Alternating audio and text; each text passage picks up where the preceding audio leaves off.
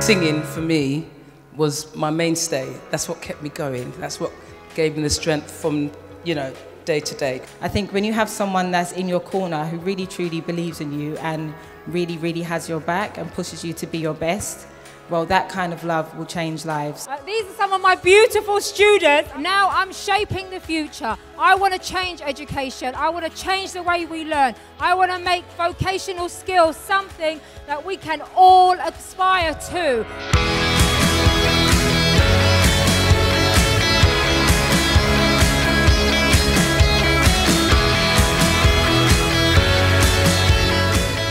Wrong careers are sort of a bit like the wrong relationships in that you your mind does the best it can to mask their shortcomings and then one day you wake up and you look at the person next to you and you see all the holes.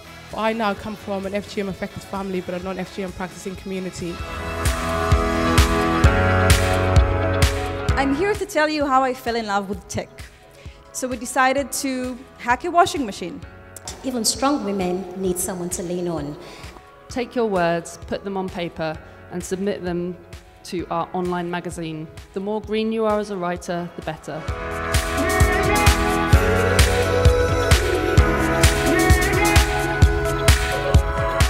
Over the last 10 years, I have worked so hard to turn my life around, brick by brick. I've taken my life sour lemons and I've made my own version of lemonade.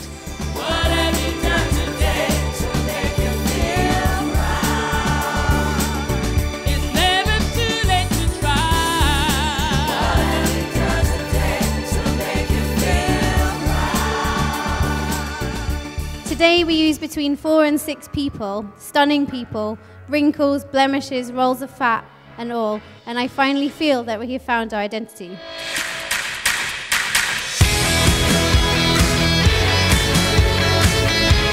Five years on, we've shown 260 films to about 5,000 people.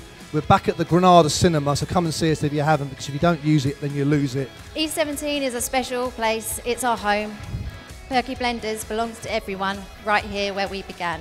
The mill uh, is a community centre at St James uh, by the end of the market.